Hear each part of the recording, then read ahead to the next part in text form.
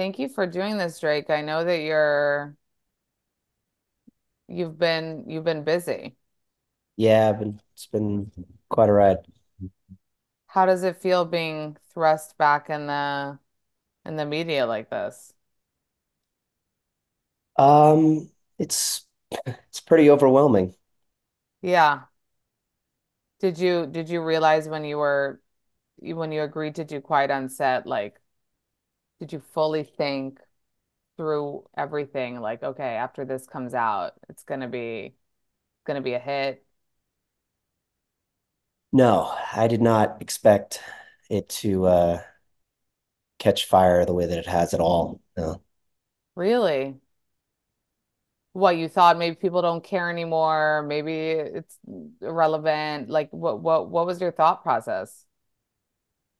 Um, you know, I really didn't think much about that. I was just kind of working through a lot of stuff and felt that it was time to share my story and um that's really all I was kind of thinking about. I I, I didn't really think about the uh uh, public response very much. When can I ask you when this was filmed? When did they reach out to you to do this? Yeah, they reached out to me um, maybe like early last year. Um, and I really was not in a place that I was prepared or ready to um, agree or accept to do it.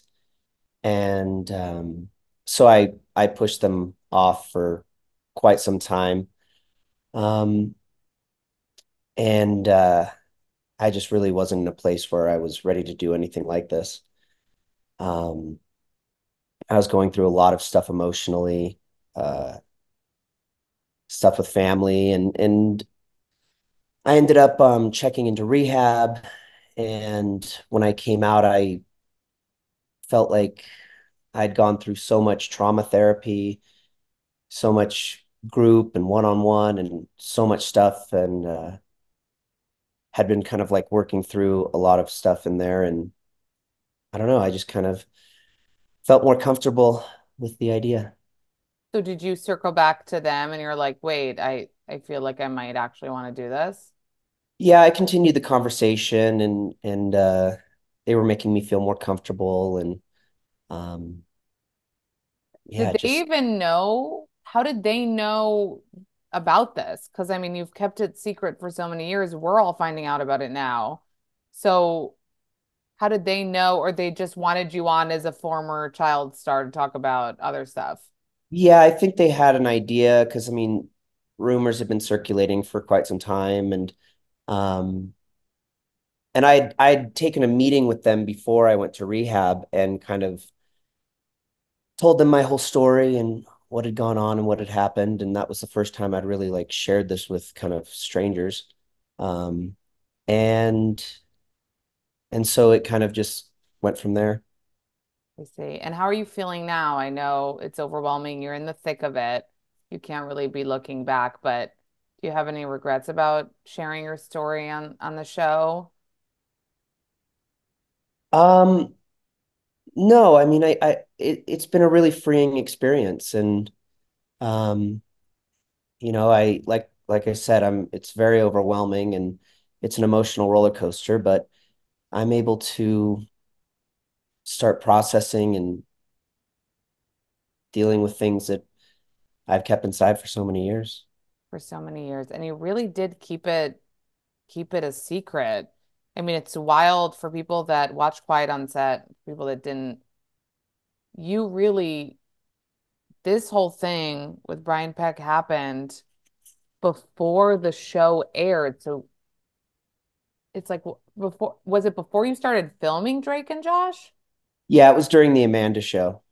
It was during the Amanda show. So when you become this huge star on Drake and Josh, it's like you are hiding this huge secret. You're this star, you're this babe for all these young girls going crazy. It's like a wild timeline. Yeah, I was going through a lot uh while filming Drake and Josh. Um I it was there were some really difficult times. but somehow you went to set, you did the job, you were good at it, you were funny. Like, how do you explain that? How do you explain, did you do you think you I think that was just my my escape was mm. when the lights came up and I was getting to do what I love to do and um it just that was you know kind of everything just I was able to kind of push everything deep down inside but uh but yeah it was it was really really tough at times. was it only years later that obviously like as the, the public mostly knows, like you did have to escape to, you know, substance abuse and alcohol and stuff like that because of what you went through.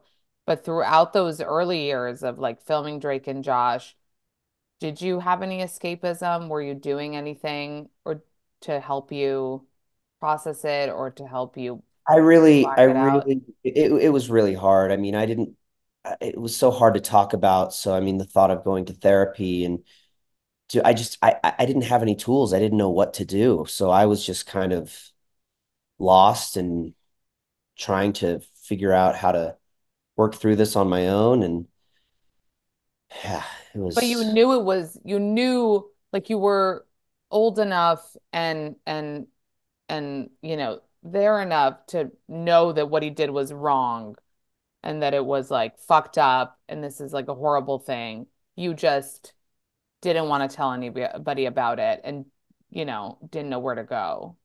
exactly. I mean, I didn't know how to process it or work through it or deal with it. And, and yeah, I mean, I, I was just completely lost. Did you feel anger?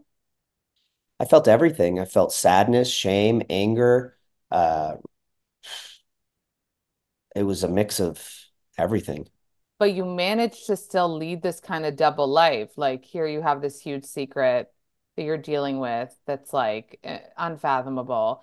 On the other hand, you're becoming this huge star. You're going to set every day. You're like a, you're famous. You end up getting a girlfriend and she doesn't know about it. It's wild the story that you tell that your mom that her mom was the one that kind of put the pieces together. Did, did, did that shock you that like nobody else in your life did that, but your girlfriend's mom Yeah, I mean, my dad, my dad was Right, your dad.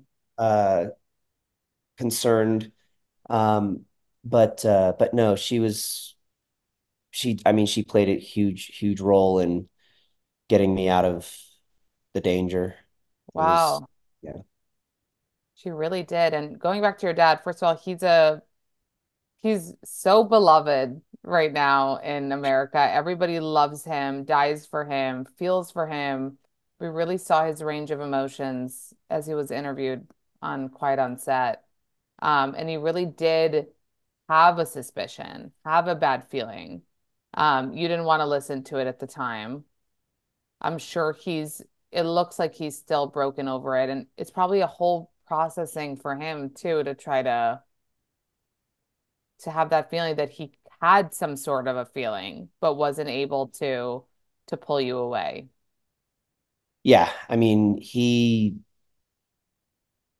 and that's the thing. I, I, I you know, I think that he takes a lot of uh, responsibility and feels like you know what happened is his fault and he didn't do enough. But at that time and the way that how calculated Brian was at what he was doing, it, it just, I mean, it just, I, you know, the, you can't lay any blame on on him or anybody, but but you know who was responsible for it. How is he today, your dad? Are you are you in having a good relationship? Yeah, me and my dad have a great relationship. I mean, we talk every day, and he's going through a lot. Um, but I think that it's kind of it was cathartic and helpful for him to finally be able to get it's same thing, get something off his chest that's been there for so long. It was weird to hear somebody that, you know, we have preconceived notions of momagers and I mean, I guess we don't have a preconceived notion of a dadager, but your dad definitely doesn't come to mind of someone that's like into showbiz, you know, taking his kid to auditions. So it was surprising to hear that he was really the one that started this whole process with you, that you were interested in, you were very showmany. And he was like, Yeah, this is something fun that we could do together. And he really wanted to be part of it and be your manager.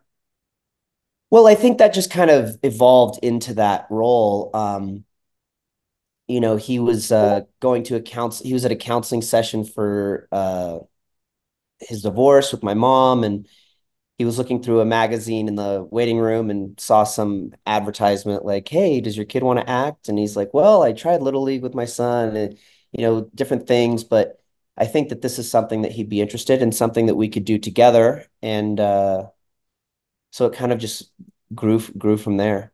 But he got sucked into it. Like it seemed like he saw you thriving and wanted to really like be part of it with his son. So looking Well, back, something like we were able to do together and able to spend time together and travel together. And um, so I think that that's really what what he was thriving on, you know, was getting to um, spend this time with his son and and uh, be able to watch him grow and do something he loved. And and um, yeah, I think that's really what was his motivation.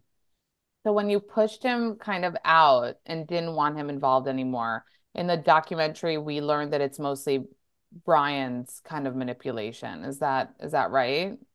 Yeah, I mean, Brian was telling me he was stealing my money and I should have all this money. And uh, you hear stories about that in Hollywood so much that it's very easy to believe. And I was, I had no idea about taxes and agency and manager uh, commissions and, and, you know, we weren't being paid very much money to work on Nickelodeon. And, um, but when you get it put into your brain at such a young age that, you know, you should have all this money and the reason you don't is because of your dad. And I think that Brian saw that my dad was really the one that was going to, you know, get Brian out of the picture. So Mm. he worked really diligently to put it into my brain that, you know, parents shouldn't be their kids' managers.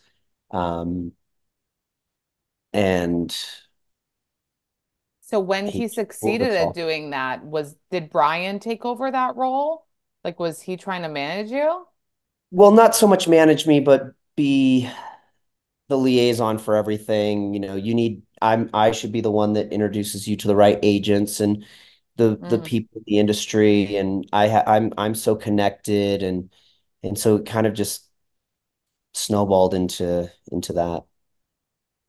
And you know, Dan Schneider, we saw his response to, to the show. You didn't speak um negatively about him. It seemed like your experience with him seemed to be a good one on the show on, on the Amanda show. Yeah, I mean, I can only speak to my experience and uh, you know, he was one of the few people that was really there for me during this time and um so that's that's really all I can speak to. Did he reach out to you after seeing it and thank you for for for what you said about him, that you were speaking kindly of him unlike everyone No, else? I've no, I've kind of just uh no, I we're I've been it's it's been a difficult time and so I've just kind of like been going through this like by myself Like, and yeah. you know. So you're not really talking to anybody else that's that was around that time. People are wondering about No, I mean some cast members have reached out and I, you know, people I've been friends with for many years. We've we've talked and and things, but uh but yeah, no, it's just been a it's been a strange kind of dreamlike state, really. I can imagine. Yeah. I can imagine. And like also it was it was many years ago and reliving all of that and looking at it differently because you also even said like I know that now it looks like don't put your kids in this industry. It's awful, it's disgusting, you know, all these things, but you're not completely saying that. You're not saying this is a disgusting industry. It sounds like you're saying, you know, bad people do bad things Well, it's difficult because I I have so many amazing memories and I I got to do so many incredible things Um, but you know, and would I want to take take that away from my experiences just because of what I've been through? I mean, it's a hard question to answer. Um, and with the letters that have come out, it shows that there's really a deeper, it's like an onion. I, I, I always thought that, you know, there's bad actors and watch out, you know, keep an eye out. Um, but I didn't realize that there was so much support and protection and things that were happening uh, around it. Well, that's a that's a question I want to talk to you about because um, you said the letters. uh, There were letters of support for Brian Peck, like hun hundreds or 140 or something, by a lot of beloved actors that we know. One of them being James Marsden, Boys Boy Meets World cast.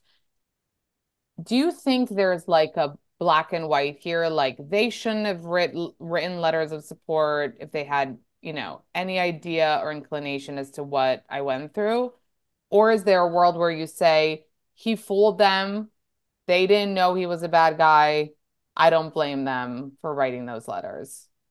Yeah, I think I think it's both. I think that there's, you know, I think that a lot of people were fooled. I think that that that Brian was able to pull the wool over a lot of people's eyes and paint a picture that was a far cry from the reality. And um, you know, I I I can't speak to what was going through anyone's mind at the time or now or how they're processing it or anything like that. But uh, yeah, I think that uh, Brian was able to fool a lot of people.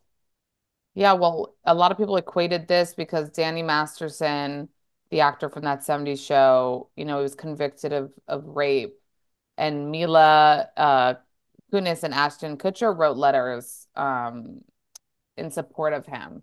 And, you know, they got a lot of a lot of heat for it. And there were some people that said, "Hey, they're his friends and basically family, and they they believe in him and they want to help him lesser his sentence." So it's it's it's really this was also many years ago. So the kids were actually kids at that point, right? Like the boy Boys World cast. But um, do you have any anger towards those people that wrote those letters in support? Because I mean, the conviction he did end up getting was so, the sentence, I'm sorry, was so like it was nothing. What, 16 months? That must have been so disappointing. Yeah, I mean, at the time, I was just happy. uh, Well, not happy, but I was just relieved for it to just be all over, you know? And I was, um, yeah, I mean, I don't, I don't really harbor a lot of anger. Um, it's more of a, uh, um, I think just confusion and, and working through it. But like I said, I mean, he was very good at fooling people and, Mm. and people process things differently. And I don't, yeah, I mean, uh, it would, I think it would just add too much to what I'm I've been through or what I'm going through to uh harbor anger. And a lot of people looked immediately to to to Josh Peck, your co-star. Like, why aren't you saying anything? Why aren't you speaking out? Again, this is people also knowing that you kept this a secret, people knowing that this happened before you were filming um, with Josh. What did you think of that? Did you feel like Josh worked on the Amanda show and so he he saw and knew uh what was going on. Um but you know, I appreciate that he reached out to me privately and and you know, didn't go straight to the media because you know, he he's he was there with me and and saw what I was going through and so what do I you mean think by he saw and knew what was going on? Like he knew specifics? Well, I don't think he knew specifics, but but there were people who, you know, worked on the show that that knew uh, you know, who it was and things like that. And so I think that when um he just knew how sensitive this was for me, and after, of course, watching the documentary, um, he learned of so much that I had gone through that uh I think that he was just so sensitive and made sure to reach out to me privately rather than just going straight to social media or Yeah. something. You know. But but you're saying people, so you're basically saying there were people around that had an idea that you were the the kid in question that Yeah, after after after the fact. I mean, there were just like I, you know, say in the documentary, in the courtroom was full for Brian. So I mean, and Hollywood's so small, so there's a lot of, you know, yeah. talk and things like that. So um, and there were people that I confided in that I worked with. Um, so it was definitely known that I was, you know, going through a lot. Oh wow. Okay, so you're saying it didn't get out to the public public, but people kind of Yeah, knew. So how do you explain this guy getting hired at Disney I after he gets it out? I, I, I cannot explain that. I don't know. I think it's just, you know, like you see in the letters of support. I mean, there's people who said that they would love to work with him again, that they would hire him again. Um, and I think it was just that he was so well connected that I, I, that's unexplainable. Well, how does that make you? Did it make you feel like people weren't believing you? Did it make you feel like you were doubting yourself? Like, I can't imagine how painful that is. Yeah, I mean, I, I didn't know how to think of it. I just was in total shock that he was able to go and work at other networks and continue just the way it was before for him. It was, I, I mean, shock is really the only thing I can explain it as. Yeah, you you say in the documentary, and by the way, you spoke so, you know, eloquently about everything that happened. And you even said, like, I'm not going to say exactly what he did. I'm going to say take the worst case scenario of, you know, sexual abuse. And then we do get a snippet when we see the court filings, um, for those who watch the show. And it is the worst thing you could ever you could ever imagine. And I don't know the court system that well, but six, like it sounds like the life to me. Like it sounds like you do that to a fucking kid and you do that to anybody. Like that's rape, that's abuse, that's it's just wild. Like the the sentencing. Like I mean, it was shocking and and walking into the courtroom and seeing all the people on his side of the courtroom and the support and it was it was a lot. It was really re-traumatizing and I But you went, you decided to to go. How did you yeah, make that decision? Did did you have any second thoughts about that? Like maybe I don't want to go, I don't want to see him, I don't want him to see me. definitely, definitely. Um, I mean, a lot of that time, you know, I have to be honest, is a blur and a lot of things are coming back. Um, now that I'm reprocessing, it's uh, reprocessing and uh, going through it all again. Um, but I think at that time I was in such a state of euphoria. I mean, it was just, I was just trying to keep myself upright and get through what was going on.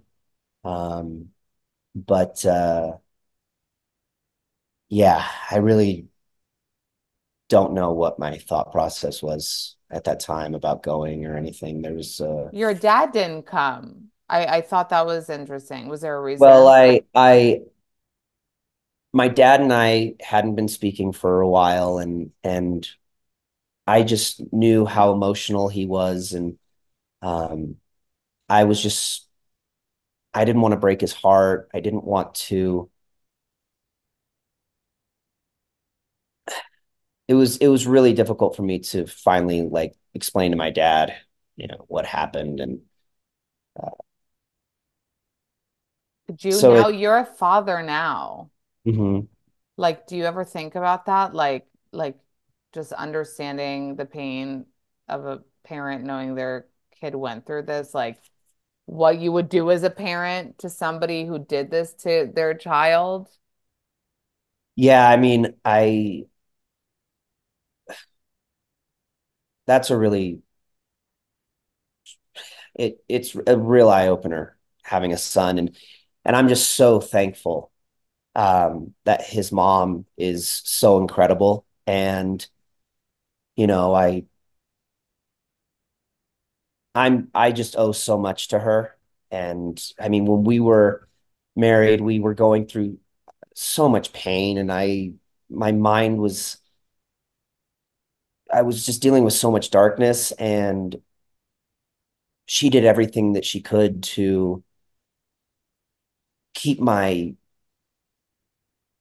my life on track to keep me working to uh, you know i i mean honestly i i really owe everything really? to her. I i i don't know what i would do um if i didn't have her. And and you know i i i i have to take responsibility for a lot of pain that i caused and um but she's such an incredible mom and she sacrificed so much in our relationship to keep my career going, um, to keep the family stable, to be an incredible mom. She went through so much, and um, it is, it is, um, it does put into perspective how my, you know, everyone says, you know, like your parents always say, I'm you'll you'll understand when you have a child of your own kind of thing, and and that is a, a huge eye opener. Um, but uh, yeah, I'm just so Do you get to spend a lot of time with your son? I do, I do. I I uh, I I visit him a lot, and um, uh, we have a we have you know he's incredible, and we have a great relationship. Um, and he really is the motivation to continue, you know, to keep going and and um, yeah. And we saw kind of that your your ex did move on. How does that make you feel? Are you also in a place of moving on from that relationship, or do you have regrets there that it the marriage didn't end up working out? Oh, I mean, I definitely have regrets uh, for,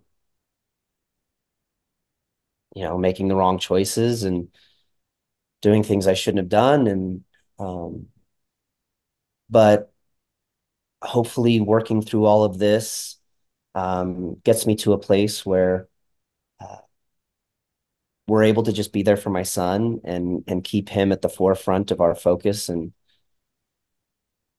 Has she been supportive throughout this time, she's been very supportive. She's been very supportive. Yeah. I mean, through everything, through everything. And I, you know, my mental state and things that I was going through. Uh, I don't know how how she did it, but she's been a huge support through all of this, and uh, even before, um, you know, because she knew everything, and um, yeah, I mean, she did everything in her power to keep me going, and and it really, yeah, it really, um, I just owe, I just owe so much to her. How did you keep the, you know, your family afloat? Were you working throughout, you know, we we know about the the time you went missing and you know, you spoke about rehab and you had you had rough years um leading up to leading up to now.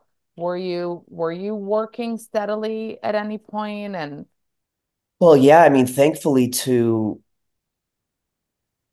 thankfully to my wife, I she she worked so hard at she she kind of she basically fell into the role of managing everything for me and and keeping me working and uh keeping everything going for us. Um you were able to make a living?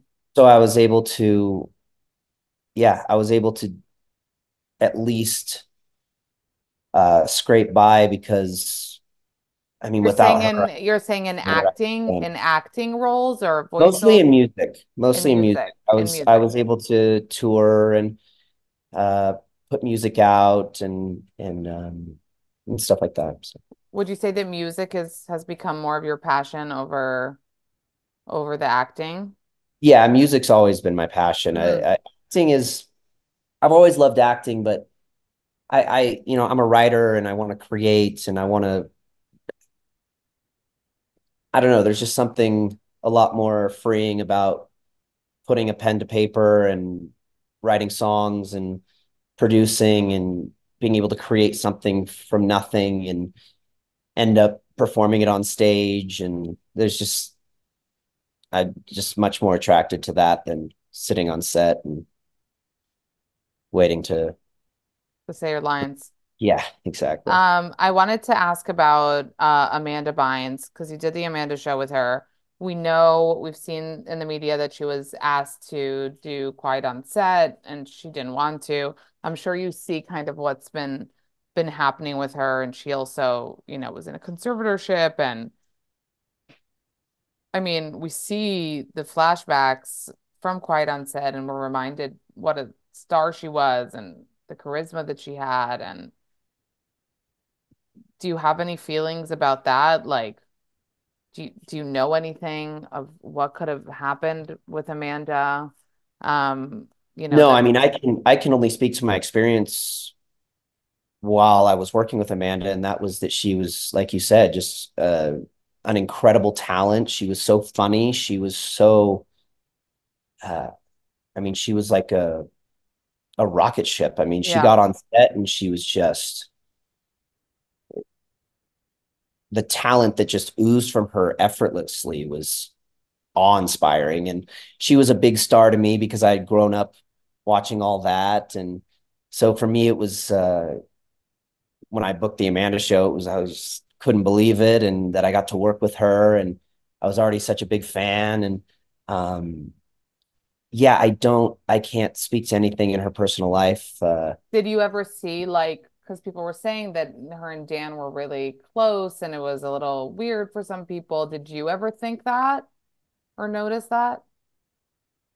no, I, uh, you know, I mean, this was in the throes of a lot that I was dealing with personally, Right. but no, I mean, I just saw a really talented, uh, amazing uh, actress, and uh, yeah, I just no, I never saw anything that. Have you had any contact with her in the last few years? no, no, No. No sliding into DMs being like, "What's up?" no, no. Um, I did want to have this space to talk a little bit about um your what happened with you after and the allegations against you that you ended up uh, that you ended up dealing with because I think that we see you on Quiet Set and everybody's heart is reaching out to you and everyone wants to give you a big hug um, and be there for you, realizing what you had went through. And then we find out about this and it I don't want it to take away from from anything. So I wanted to give you like the space kind of talk about what happened with with you.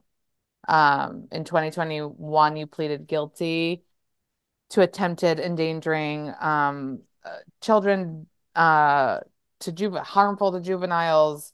So what what happened with this woman? What can you tell us to clarify that um, so we can understand better? And of course, like you went through so much trauma that I'm sure it had to do somehow with leading up to this kind of thing even happening. Yeah, I mean, I just I uh, was I responded on uh, some DMs and was incredibly irresponsible and and uh,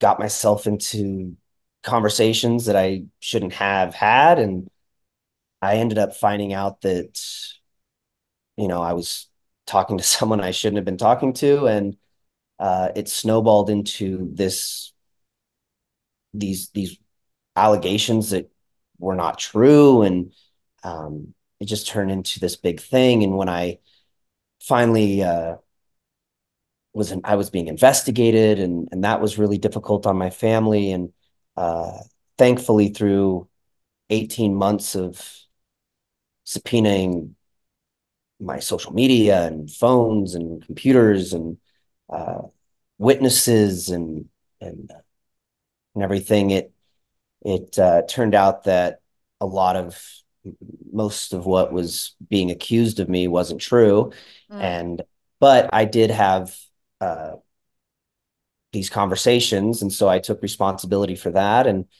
um, ended up pleading guilty uh, because I, you know, I mean, just financially, I was just devastated, and I uh, I just had a son, and I didn't want to put my family through all of this anymore, and uh, so I ended up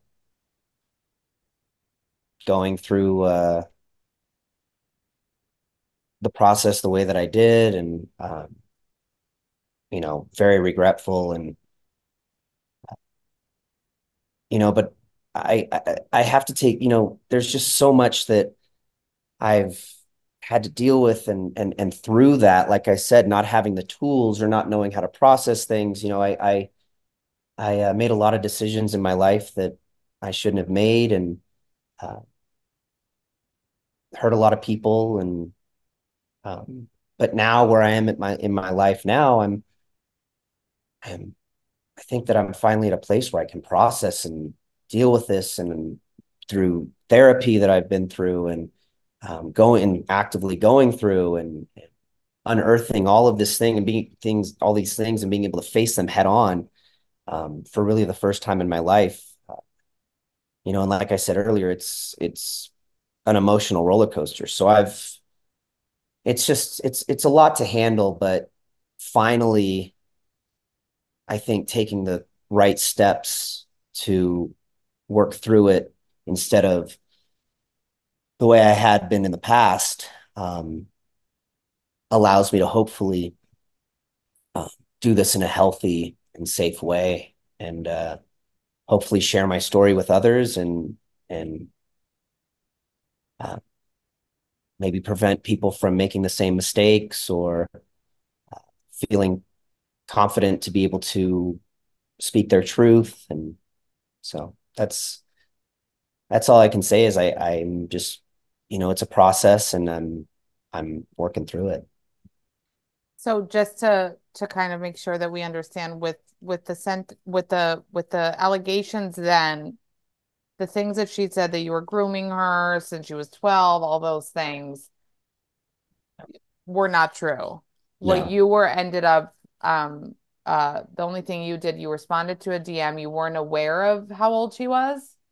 Yeah, and then I finally found out and then I cut communication and then things got I I think she got upset and Mm, he was coming to concerts still and and I was doing everything I could to kind of keep my distance and uh, then she made all these allegations that things had happened at a concert but um, throughout the investigation I mean there were witnesses who were there the whole time who refuted it and uh, people who uh, weren't even connected with me that were friends of hers and her families that were there the whole time and mm, so uh, so no and and a lot of the things that she said about message about sending inappropriate pictures and things like this uh, hmm it was able to be investigated and show that that none of that That didn't happen. no.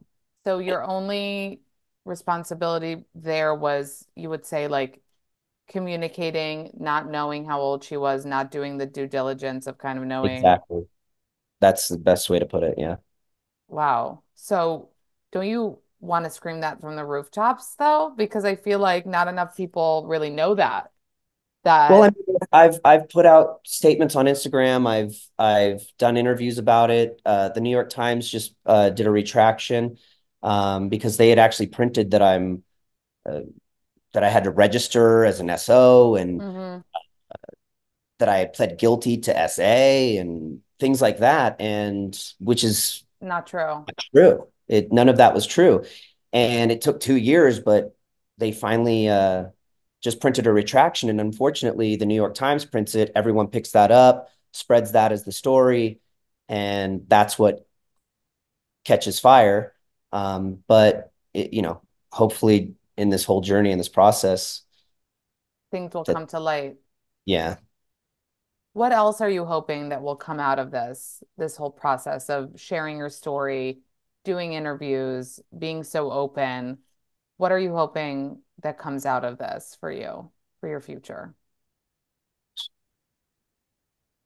Um, I hope just healing, just, you know, there's been a lot of pain and uh, yeah, I just hope that moving forward, um, I, I, I guess I, I don't know. It's it's hard to put into words because there's so much, you know, that I'm processing and going through, and I keep saying that, but it's uh yeah, I just hope that there's uh healing and and uh way to move forward and um get through this in a healthy way. Yeah. What about that fifth episode? We were just teased with the fifth episode of Quiet on Set. Was that not in the in the in the plans? Did that is this did you shoot this recently? No, I don't know if it's going to be. I mean, there's a lot of parts of the interviews that weren't used, and Mm, so I don't. I don't. I'm not exactly sure what um is going to come out of that. I. mm. I. Yeah, I don't know. Oh, you're not sure. Yeah. Okay. Well, we are waiting to see. That's for sure. Do you have any hopes that, you know, you can move forward, deal with the trauma, you know, be able to have healthy relationships? That's really important. Are you, is is there any way you start fresh from here and, you know, doing I more mean, that's that's music that's my hope. I mean, I'm working on music. Uh, I'm touring. I'm finishing an album. Um, but uh, you know, really, the main focus for me is just my son, his mom, um, and uh, correcting a lot of the mistakes that I've made, and and uh, taking responsibility for decisions and um, yeah, I mean, the career is one thing, but I have there's so much healing that needs to happen with my family and my relationships that that's I have to keep I have to keep that you have to focus. focus on that. So you Yeah. said that everything's good with your dad. The ex has been very supportive. What about your mom? My mom and I have a great relationship. I mean, you know, Brian was very good at tricking everyone. And so I can't harbor any resentment or, you know, sure she could have made different decisions and and things, but it's really it's much easier to say that in hindsight when you have a bird's eye view, but when you're in the thick of all of this, it's It sounded like your dad was feeling kind of like, not that he was blaming her, but it felt like he passed the baton to her, but he was kind of forced to in some way when he was shut out. But that he, it sounds like he has a little bit of resentment maybe towards your mom for for not being on top of it. no, I mean, I don't think he has resentment towards her. I think that it's just such a heartbreaking experience and uh that uh I feel like my dad just feels like he should have like he could have done more, but Mm, and, and that's what I mean in hindsight. Everyone's wondering why couldn't I have done this or why shouldn't I have done this or I should have done this. And I mean, we can't really look back and say I should have, I could have, I mm, I I think that it's just now processing what has happened yeah, and moving forward from that. Um, but no, I mean, I, I have a great relationship with both of my parents and my right. family. Uh,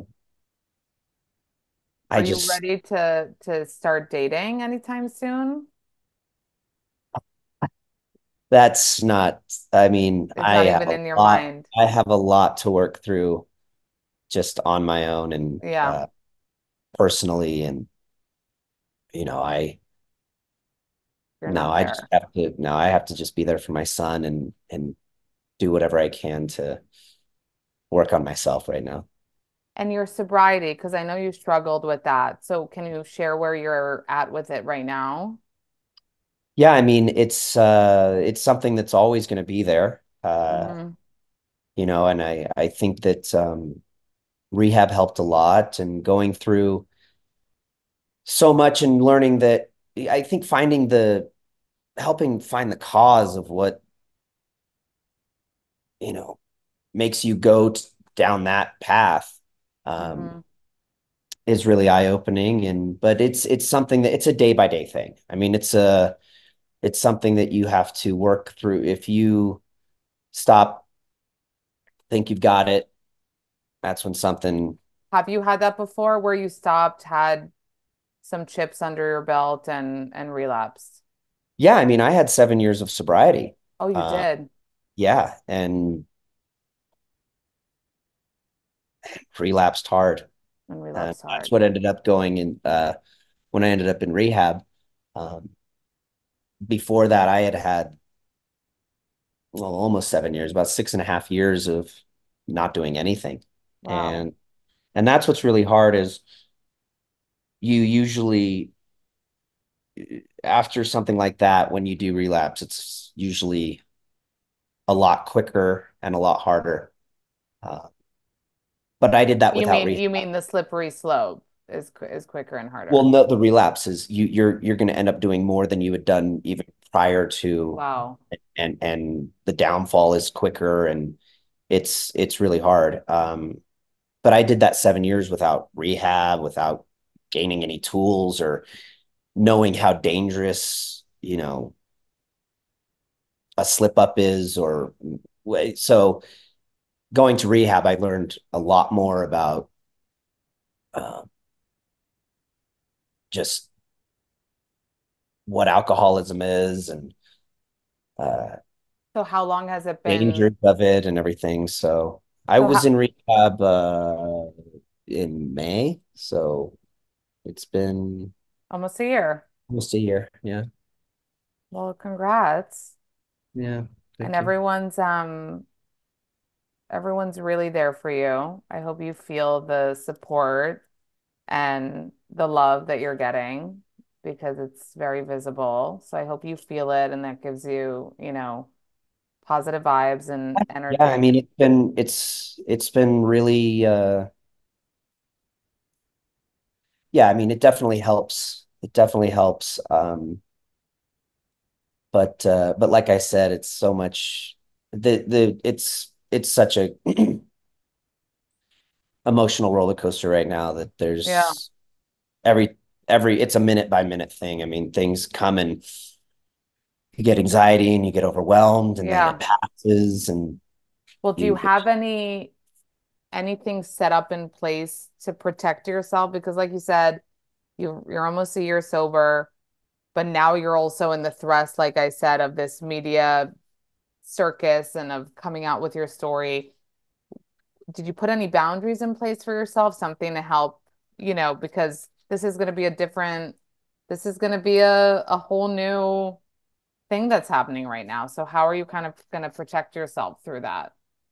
um well, I mean, it's keeping a healthy support system of people around you who uh build you up when you're doing well, but also aren't afraid to say, "Hey man, like you I'm you're getting emotional or, you know, you're uh, you know, that can just be honest with you um, in times of struggle. Um, going to therapy, um, counseling. I mean, yeah, just trying to keep a, a healthy support system around you of Yeah. friends, family that just want to see you be healthy and do well, you know? Good. Well, we wish you all the luck and all the success. And thank you so much for for talking to me today. Yeah, thank you. It was good to meet you. You too.